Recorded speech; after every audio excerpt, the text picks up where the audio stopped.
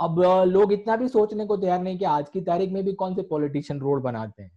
और रोड बनाने के पैसे कौन सी सरकार ला, देखिए, सरकार के पास तो कोई पैसे होते ही नहीं है।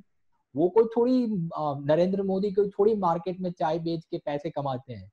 उन्होंने थोड़ी चाय बेच के पैसे कमाए हुए पैसों से वो कुछ दो चार हज़ार करोड़ खर्चा करके चालीस पचास देश घूम के आए वो तो हमारे और आपके पैसे हैं। टैक्स पेयर जो हमने मेहनत करके हमसे जो लूटे गए हैं वो पैसों से वो मज़े कर रहे हैं। हम और आप कभी ज़िंदगी में चालीस पचास देश घूमने नहीं जा सकेंगे। पर वो आदमी आराम से घूम के आ गए हैं फिर उसमें से निकला कुछ नहीं वो कोई पूछता नहीं है। सो एनी anyway, तो अगर सरकार नहीं होगी तो रोड भी बनेंगे और बहुत अच्छे बनेंगे।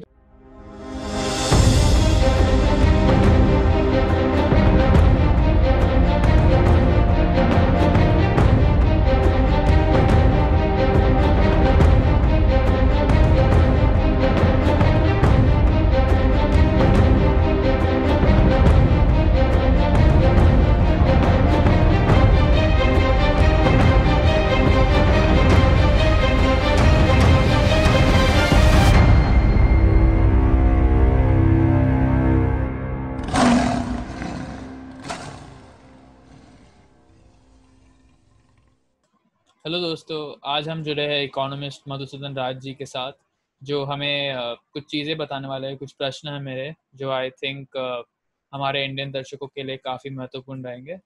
तो हम प्रश्नों को उत्तर देने की कोशिश करेंगे आज।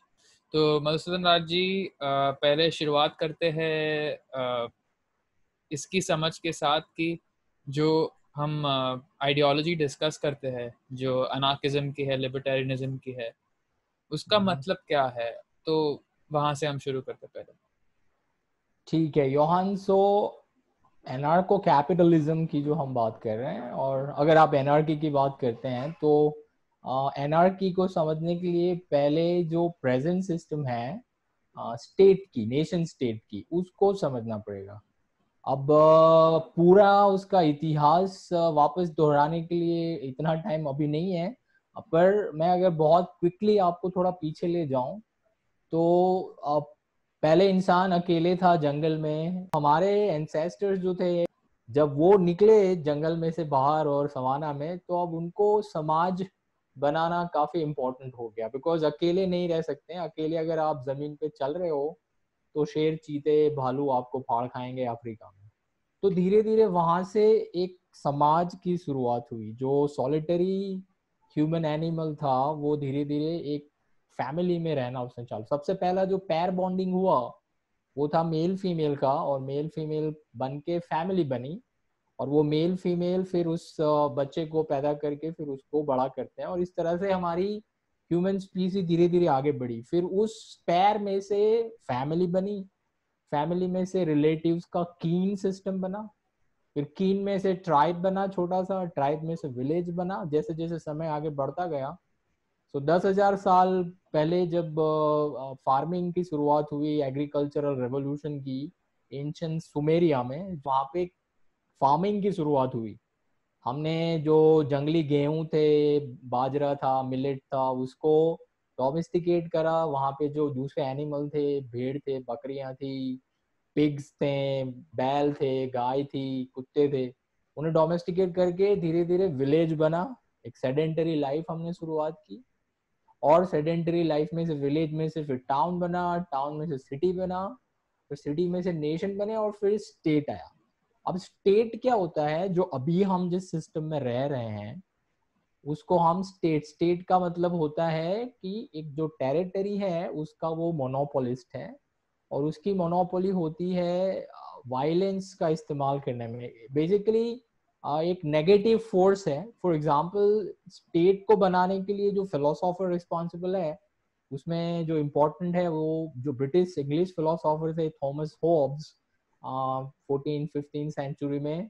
फिर उसके बाद जॉन लॉक थे और जीन जैकिस रिजाव दो फ्रेंच फिलोसोफर थे।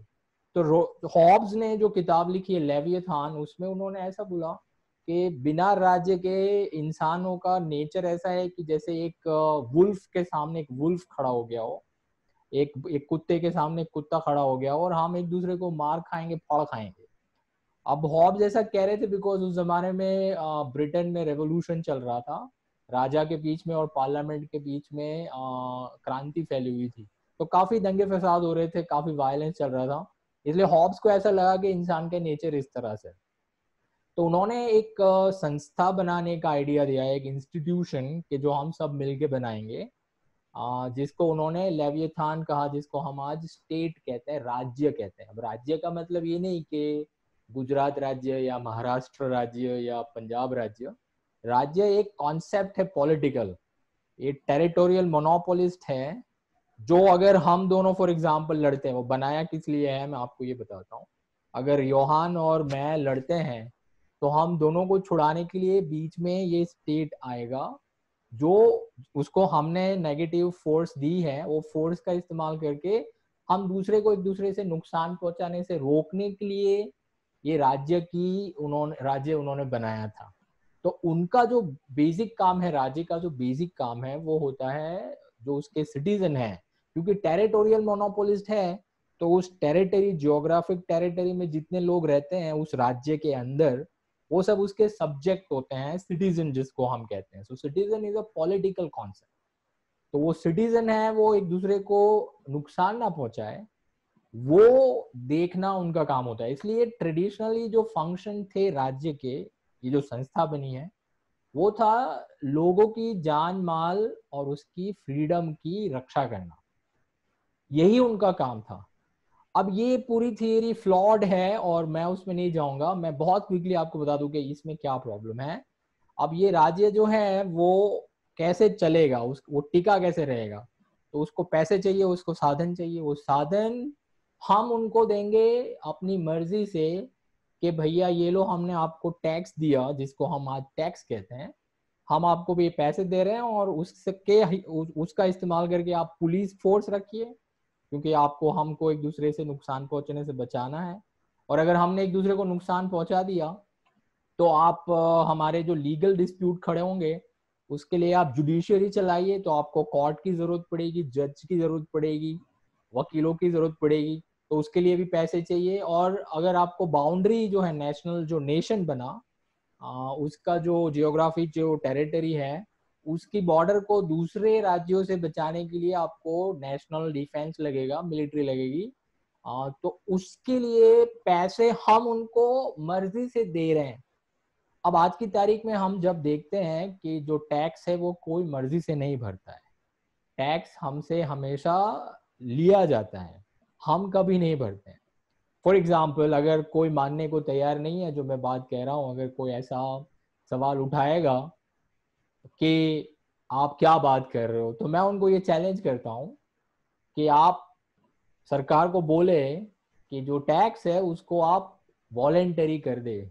लोग स्वेच्छा से भरेंगे। उनकी मर्ज़ी होगा तो टैक्स भरेंगे। आज इंडिया में नेशनलिज्म की बहुत बात चल रही है देशभक्ति की बहुत चल, बात चल रही है।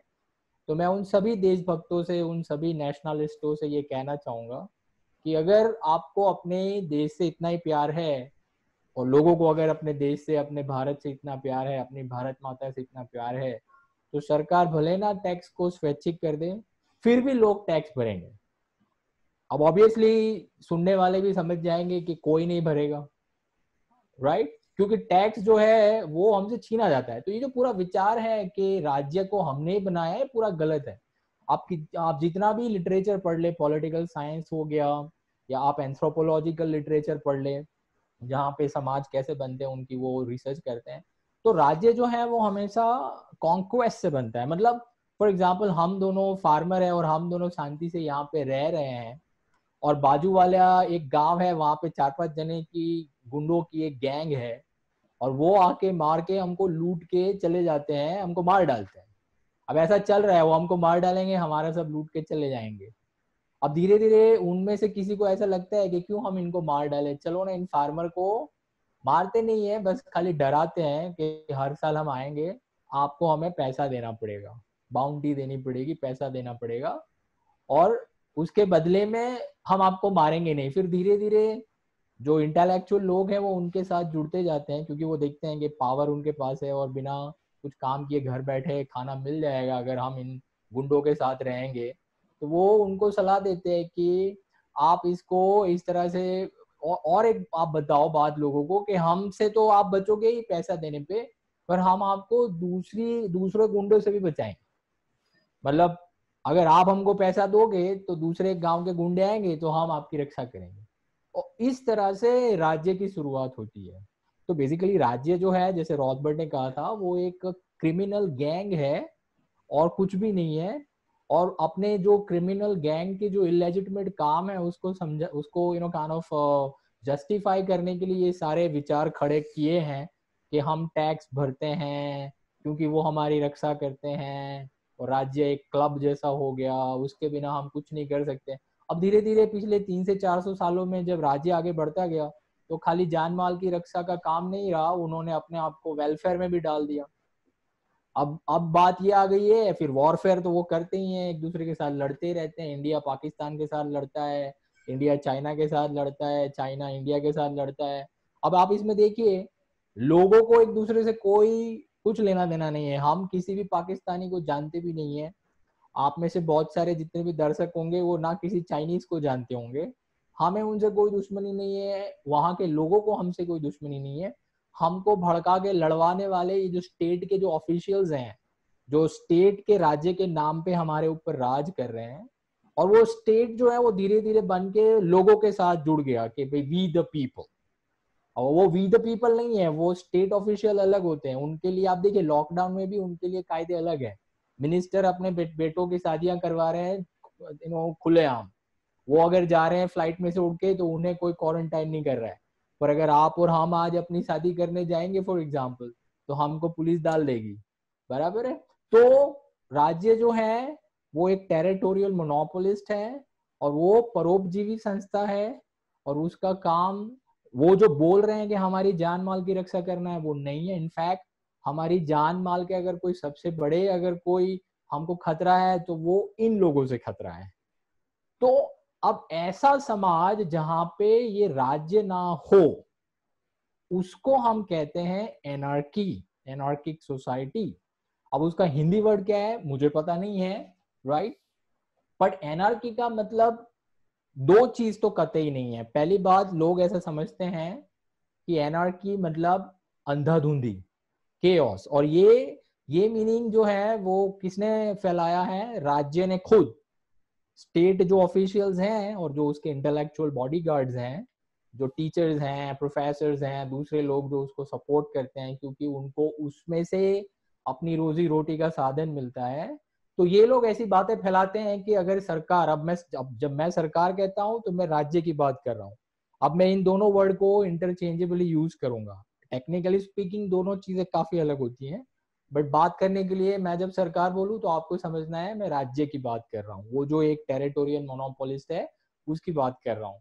तो आज की तारीख में ये हालत हो गई है कि लोग ऐसा सोचते हैं कि अगर राज्य नहीं होगी, सरकार नहीं होगी तो हमारी ज़िंदगी कैसे चलेगी? और क्योंकि हैबिट हो चुकी है, बच्चे जब से पैदा हुए, हम और आप जब से पैदा हुए हैं, हमने सरकार के बिना और कुछ देखा ही नहीं है। फिर हमारी, हमारे दिमाग में स्कूल में ड्रिलिंग किया जाता है। आप देखिए, छोटे बच्चे जब पहले इस स्टैंडर्ड में पढ़ने जाते हैं तो उनके सरकारी जो भी किताबें होती हैं, उसमें सबसे पहले क्या होता है? उसमें प्लेज होती है इस देश के नाम की। मुझे अभी भी याद है, मैं जब बच्चा था तो हमसे वो संविधान को मैं वफादार रहूँगा और भारत मेरा देश है और मैं उसको प्यार करता हूँ और ये सब बातें करवाई जाती थी। अब धीरे धीरे मैं बड़ा होता गया तो मैं तो सोचने लगा कि ऐसे कैसे प्यार करूँ? अगर देश ऐसा है तो कैसे प्यार करूँ? और संविधान को बिना पढ़े हम कैसे वफादार रह सकते हैं? अगर संविधान में गलत चीज़ें हैं तो मैं क्यों वफादार रहूँ? बट एनी तो ये हैबिट ऑफ़ माइंड हो गई है लोगों की। तो लोग आज की तारीख में सोच नहीं सकते हैं कि बिना राज्य के, बिना सरकार के उनकी ज़िंदगी चलेगी कैसे?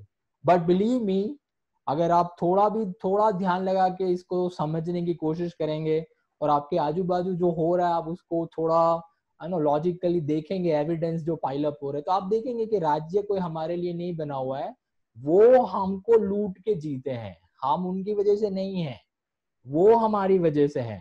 मुझे तो बहुत हँसी आती है जब सरकार हमारे लिए आधार कार्ड निकालती है।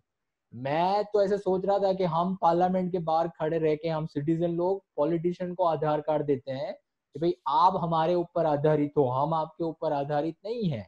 हम जब काम करते हैं प्रोडक्टिव लोग हम जब पैदा करते हैं चीज़ें तो उसमें से आप टैक्स लेके फिर मज़े करते हो तो आप हम पे डिपेंड करते हो। पैरासाइट तो आप हो हम नहीं है। बट एनी anyway, आज की तारीख में ये हालत हो गई है कि अगर हम बोलेंगे कि सरकार नहीं होगी तो लोग सबसे पहला जो काफ़ी कॉमन सा सवाल आता है वो ये होता है कि रोड कौन बनाएगा? अब लोग इतना भी सोचने को तैयार नहीं कि आज की तारीख में भी कौन से पॉलिटिशियन रोड बनाते हैं। और रोड बनाने के पैसे कौन सी सरकार ला देखिए, सरकार के पास तो कोई पैसे होते ही नहीं है। वो कोई थोड़ी नरेंद्र मोदी कोई थोड़ी मार्केट में चाय बेच के पैसे कमाते हैं। उन्होंने थोड़ी चाय बेच के पैसे कमाए हुए पैसों से वो कुछ दो चार हज़ार करोड़ खर्चा करके चालीस पचास देश घूम के आए वो तो हमारे और आपके पैसे हैं। टैक्स पेयर जो हमने मेहनत करके हमसे जो लूटे गए हैं, वो पैसों से वो मज़े कर रहे हैं। हम और आप कभी ज़िंदगी में चालीस पचास देश घूमने नहीं जा सकेंगे। पर वो आदमी आराम से घूम के आ गए हैं फिर उसमें से निकला कुछ नहीं वो कोई पूछता नहीं है। सो so एनी anyway, तो अगर सरकार नहीं होगी तो रोड भी बनेंगे और बहुत अच्छे बनेंगे। तो जो एनआरकी है वो पहली बात अंधाधुंधी नहीं है। सरकार नहीं होगी तो कोई अंधाधुंधी नहीं होगी। इनफैक्ट अगर आपकी नज़र खुली है और आपका दिमाग थोड़ा चल रहा है तो आप देख सकते हैं कि जब से सरकारें बनी है तब से काफ़ी अंधाधुंधी फैल गई है। ठीक है? तो आप लॉकडाउन ले लीजिए या नोटबंदी ले लीजिए, उसके पहले से 1947 से जब से गवर्नमेंट बनी है, फिर वो बीजेपी की हो या कांग्रेस की हो या फिर जनसंघ की हो या किसी और की हो, और उन्होंने हमेशा समाज में अंधाधुंधी फैलाई है। बिकॉज़ ये उनका काम ही है क्राइसिस खड़ी करना और उसके एक्सक्यूज में वो अपना साइज़ बड़ा करते जाते हैं, ठीक है? आज की तारीख में ऐसा हो गया है कि उनके बिना कुछ नहीं हो सकता। नॉट नॉट ट्रू दूसरी बात, लोगों को लगता है एनआरकी मतलब जैसे कोई नियम नहीं है। आप जो चाहो कर सकते हो, एनआरकी। बिल्कुल गलत बात है। एनआरकी का मतलब कते ये नहीं होता है कि कोई नियम नहीं होंगे। आप देखिए, एक बात समझ लीजिए, हमारे इंसानों, जैसे मैंने बोला कि जंगल में से जैसे हम निकले तो हम जैसे दो जने हुए हैं तो समाज बन गया। अगर अकेला आदमी है उसको नियम नहीं चाहिए क्योंकि वो अकेला है, वो किसी और के साथ इंटरेक्शन नहीं करने वाला है। बट जैसे दो लोग हो गए जैसे अगर आपने नॉवेल पढ़ी हो डैनियल डीफो की रॉबिन्सन क्रूजो तो उसमें टापू पे रॉबिन्सन क्रूजो होता है और उसके साथ फ्राइडे भी होता है। तो जब तक क्रूजो अकेला है, कोई नियम की ज़रूरत नहीं है। जैसे ही फ्राइडे आ गया, हमको नियम बनाने होंगे इंटरपर्सनल बिहेवियर के। ठीक है बिकॉज़ हम इंसान है और हम, हमारा अपना नेचर होता है, उसके अकॉर्डिंग टू हमें समाज की रचना करनी है। तो हमें, हमारा सबसे बड़ा जो सवाल है हम लोगों के सामने, हमारे समाज की रचना किस तरह से करें? अब किस तरह से करनी है, उसमें कुछ बेसिक नॉर्म्स हैं जिसके बेस पे समाज को हम बना सकते हैं। अब वो बेसिक नॉर्म को मैं आपके सामने रखता हूँ। आप अब आप देखिए, आपके दर्शक अग्री करते हैं कि नहीं करते हैं, वो जानेंगे। पर ये हमारे बेसिक नॉर्म है। पहला है, हमारा जो समाज है, वो पीसफुल होना चाहिए, जिसमें शांति बनी रहे। हमारा समाज है, जिसमें न्याय होना चाहिए, जहाँ पे जस्टिस हो। हमारा समाज ऐसा होना चाहिए, जहाँ पे प्रॉस्पेरिटी हो, जहाँ पे वेल्थ हो रिचेज हो, गरीबी ना हो। हमारा समाज ऐसा होना चाहिए, जो सिविलाइज्ड हो, सभ्य समाज हो। जंगली समाज नहीं होना चाहिए। इनफैक्ट जंगल में भी नियम होते हैं बट व्हेन आई से जंगली आई बारबेरिक नहीं होना चाहिए, एक दूसरे को मारना, पीटना। जैसे अभी चल रहा है। ठीक है, अभी कोई मुस्लिम है, मांस नहीं खा रहा है, वो वॉट आपने पकड़ के पीट दिया है, ये तो जानवर लोग करते हैं। तो समाज हमारा होना चाहिए पीसफुल जस्टिस वाला होना चाहिए जस्ट होना चाहिए, आपका प्रॉस्पेरस होना चाहिए सिविलाइज होना चाहिए। और सबसे बड़ी बात कॉन्फ्लिक्ट जो है, वो अवॉइड होने चाहिए। बिकॉज़ समाज की प्रॉब्लम क्या है? दो जने हैं और साधन जो इस्तेमाल करने हैं, वो कम है। फॉर एग्ज़ाम्पल मैं और आप अगर कॉलेज में पढ़ा रहे हो और हम पढ़ाने के लिए हमारे पास एक ही पेंसिल है तो हमारे बीच में कॉन्फ्लिक्ट खड़ा हो गया कि हम दोनों में से इस पेंसिल का इस्तेमाल कौन करेगा? अब इसके लिए हमें नियम बनाने पड़ेंगे। तो कोई भी समाज की रचना करने के लिए नियम तो चाहिए ही होते हैं। अब सवाल यह है कि नियम क्या सरकार बनाएगी? या हम अपने तरह से नियम बनाएँगे। आप देखिए आप फॉर एग्ज़ाम्पल किसी भी मॉल में चले जाइए।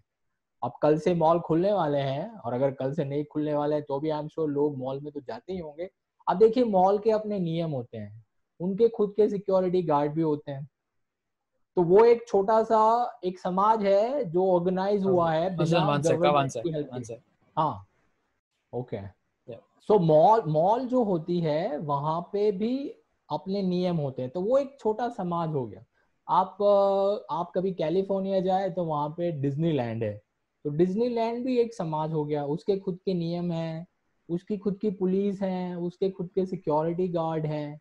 वहाँ के नियम है। हर एक अपार्टमेंट के खुद के नियम होते हैं। तो यहाँ तो कोई गवर्नमेंट नहीं आई है हमें बोलने के लिए, आपको ये करना है या वो नियम करना है। तो अनार्की का मतलब ये भी नहीं है कि नियम नहीं होगा या मैं अपने खुद के नियम खुद बनाऊँगा। No, not at all.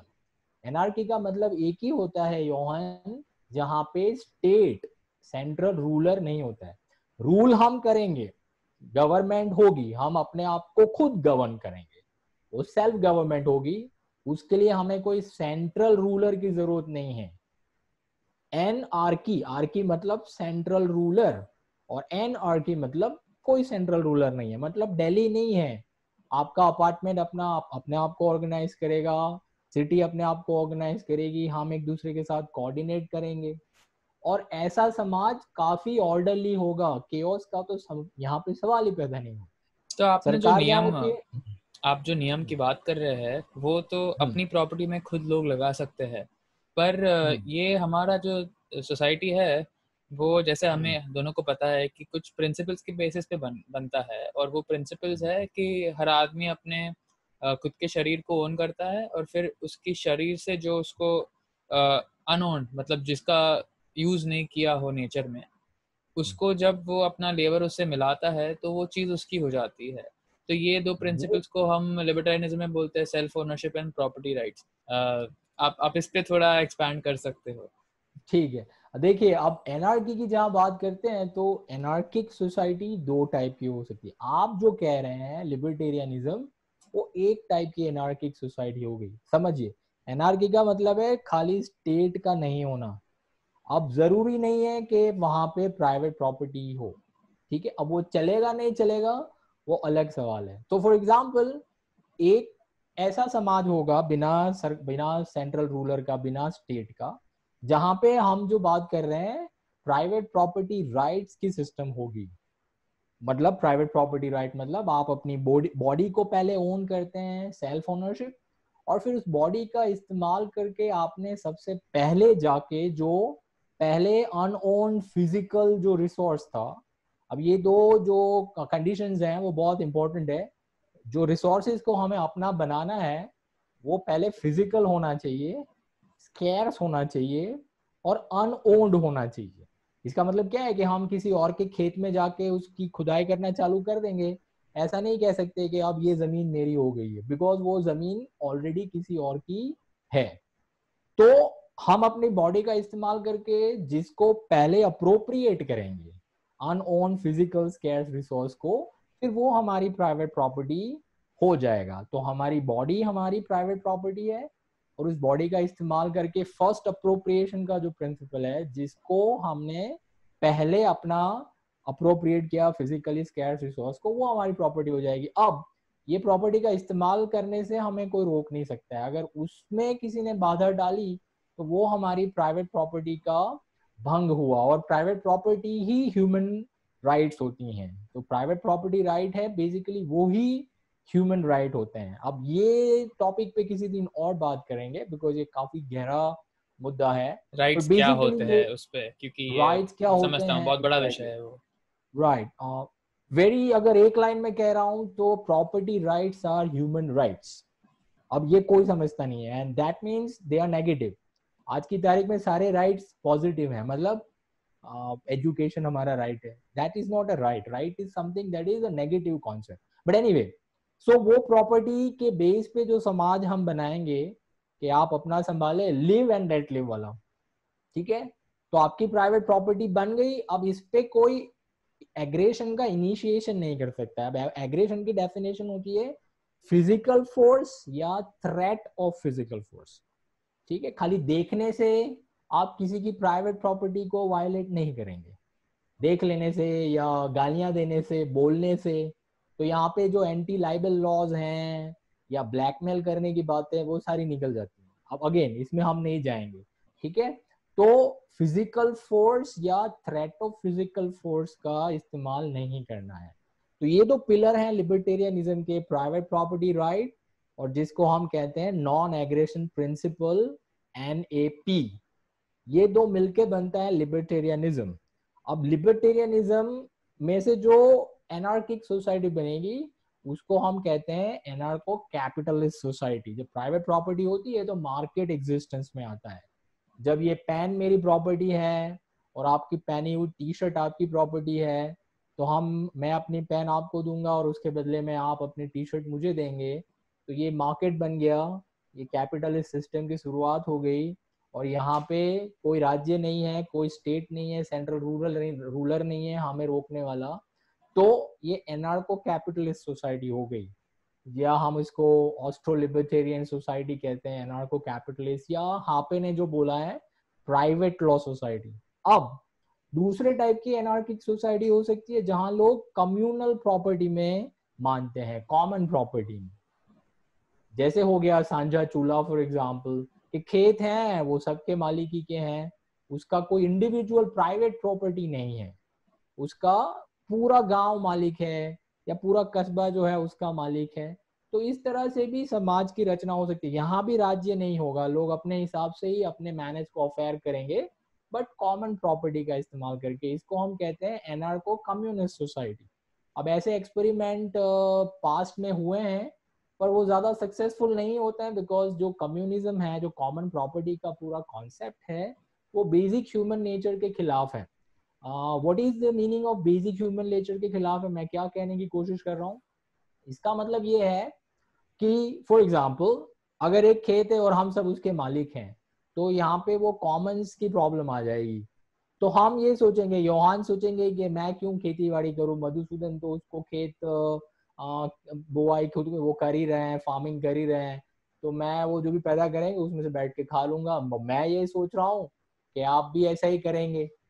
तो काम हम सब सोच रहे हैं वो काम करेगा वो काम करेगा और अल्टीमेटली कोई काम नहीं करता है। क्योंकि तो जो चीज़ हमारी होती नहीं है अगर हम उस, उसके लिए कोई इंसेंटिव नहीं रहेगा हमारे लिए काम करने के लिए तो क्यों करेंगे लोग? आप आप उसी की बात हाँ. कर रहे हो राइट इसीलिए मैं कह रहा हूँ कि ह्यूमन नेचर के वो खिलाफ है। हमारी हमारी गाड़ी होती है तो हम उसको ज़्यादा देखभाल रखते हैं। किसी और की होती है तो हम इतनी ज़्यादा देखभाल नहीं रखते हैं। बराबर है दोस्त को गाड़ी दी होगी तो ठोक के ही आएगा।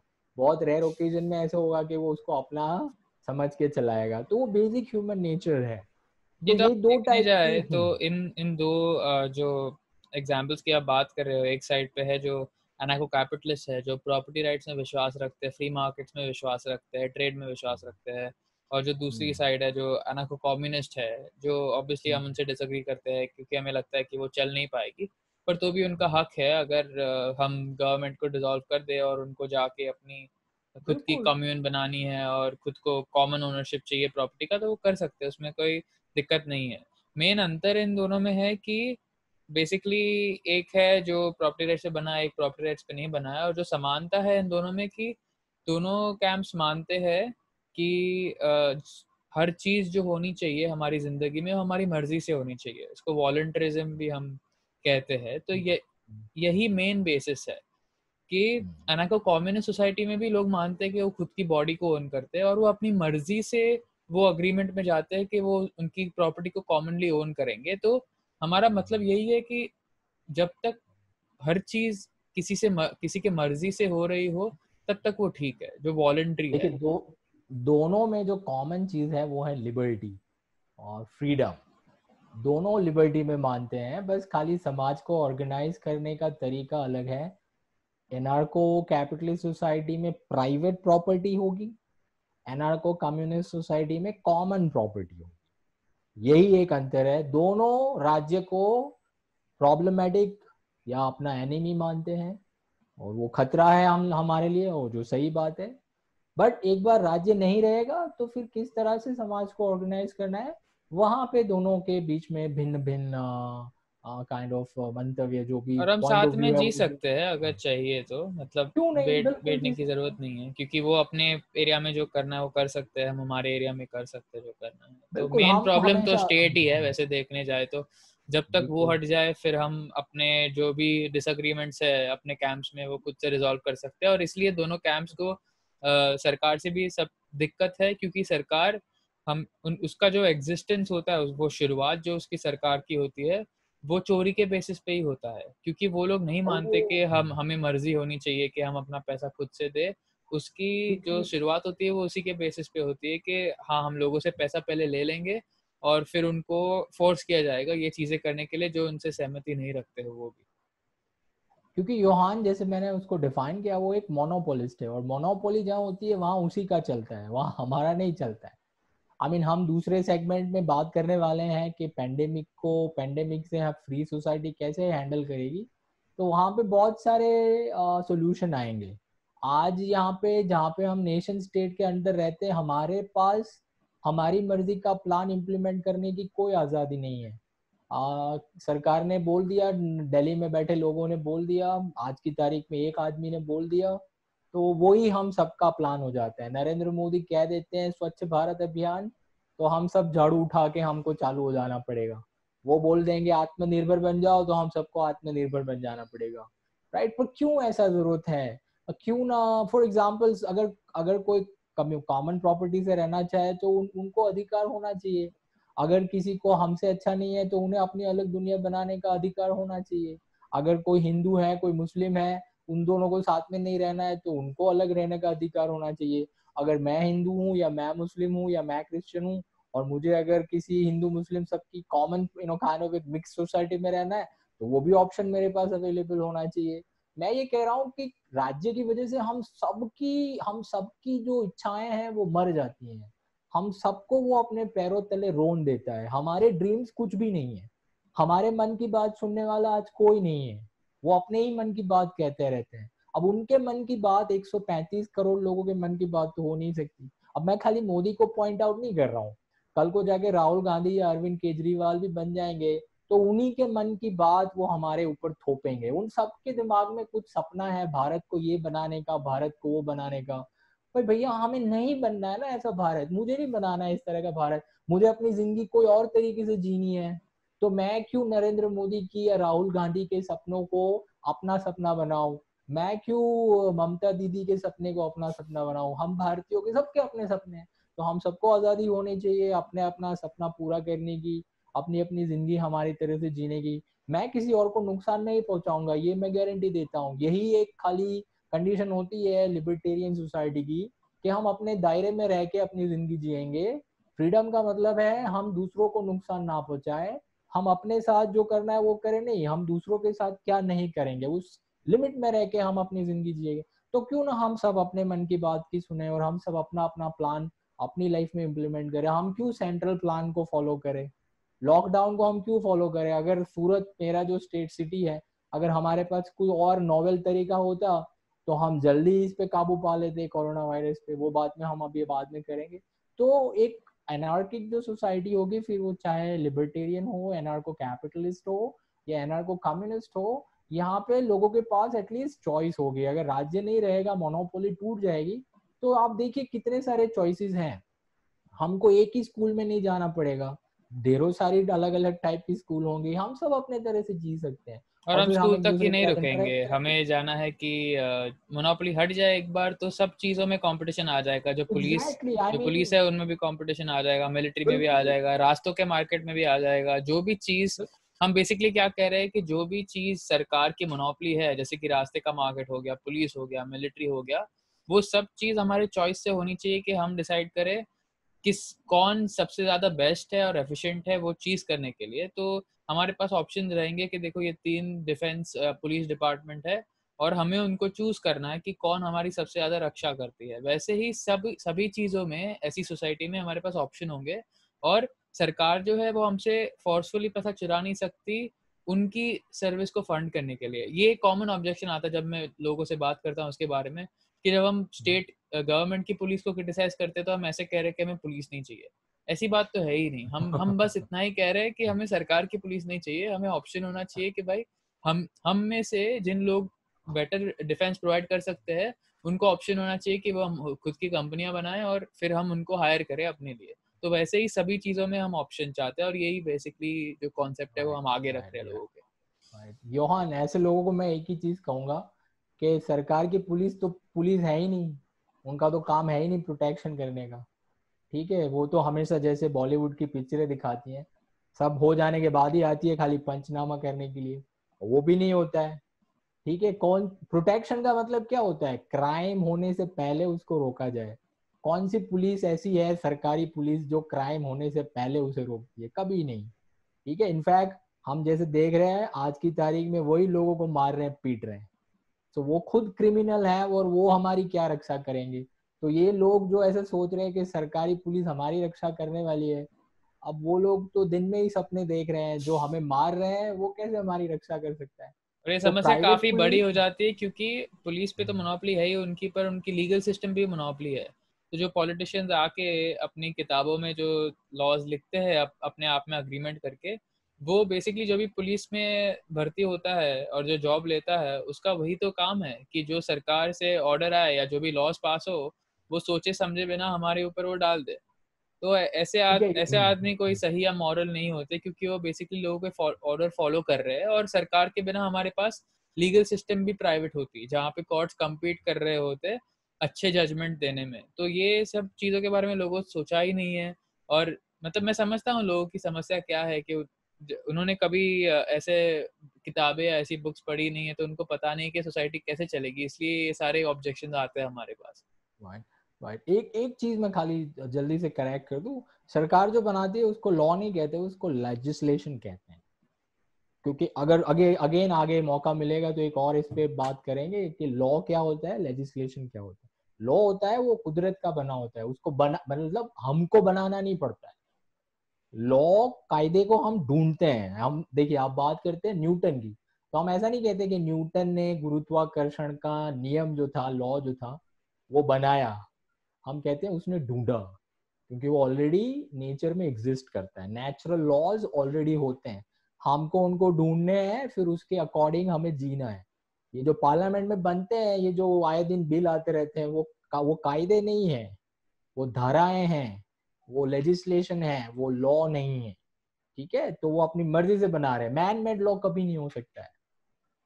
जी, और जो दर्शक इंग्लिश समझते हैं तो मैं ऑब्वियसली उनको रेकमेंड करूँगा कि ये जो नेचुरल लॉ की बात करते हैं, उस पर बहुत बड़ा सेमिनार है मार्क पैसियो का तो मैं लिंक्स में डाल दूँगा, उसको जाके देखिए। और ये बिल्कुल सही बात कह रहे हैं कि जो आप जिस, जिसमें ही मानते हो, अगर आप एथियस्ट हो तो आप मानते हो कि यूनिवर्स रैंडमली बना है, या भगवान में मानते हो तो ये बेसिकली हम यही कह रहे हैं कि कुछ नियम है जो यूनिवर्स में सेट है।